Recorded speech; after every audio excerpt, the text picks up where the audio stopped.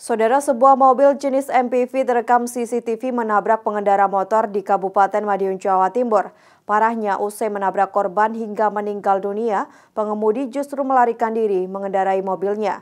Pelaku dapat ditangkap setelah polisi memeriksa delapan rekaman CCTV.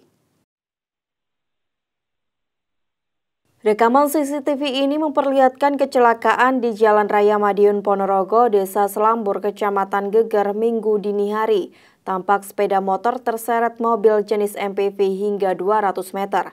Pengendara sepeda motor pun dilaporkan meninggal dunia. Parahnya sesaat usai menabrak korban bernama Yongki Ansifano Putra, warga Dolopo terkapar dengan luka parah di kepala. Pengemudi mobil MPV justru melarikan diri mengendarai mobilnya ke arah selatan atau ke arah Ponorogo.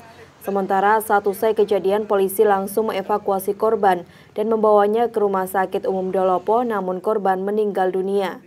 Polisi pun melakukan penyelidikan dengan memeriksa 8 CCTV. Tak lama melakukan penyelidikan dalam satu kali 24 jam, polisi dapat mengamankan terduga pelaku berinisial AP, warga Menguharjo, Kota Madiun beserta barang bukti.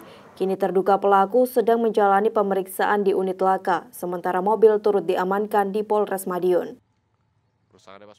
Telah terjadi tabrak lari pada hari Minggu dini hari sekira pukul 02.00 di Kecamatan Geger yang mana pada saat kejadian personil dari unit laka Polres Madiun langsung melaksanakan olah TKP di lokasi dan pada pagi harinya berkoordinasi dengan masyarakat yang mempunyai CCTV di sepanjang jalur yang dilewati sebanyak kurang lebih 8 CCTV melaksanakan pemeriksaan untuk proses pengungkapan dan Alhamdulillah dalam kurun waktu 1 kali 24 jam untuk terduga pelaku sudah kami amankan.